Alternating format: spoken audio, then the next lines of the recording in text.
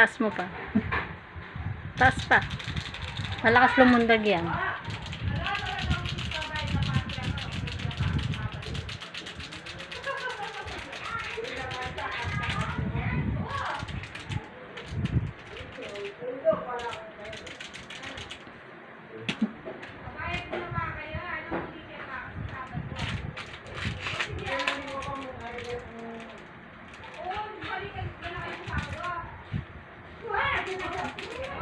Taas.